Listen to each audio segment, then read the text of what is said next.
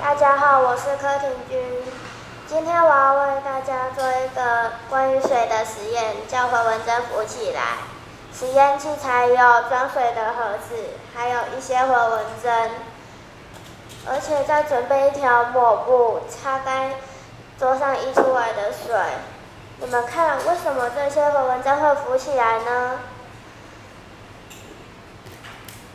你只要将回纹针轻轻地放在水面上，它你就会看到它浮起来。可是，当你从高处把回纹针往上丢，它不会浮起来。那是因为回纹针破坏了水的表面张力。那表面张力是什么呢？就是水分子跟水分子之间会互相的拉扯。可是水表面的分子受到向内的质力。就会往内缩，形成表面张力，让物体浮起来。而且你还要注意，手上不能有太多的油脂，这样子会破坏表面张力。我的实验到此结束，谢谢大家。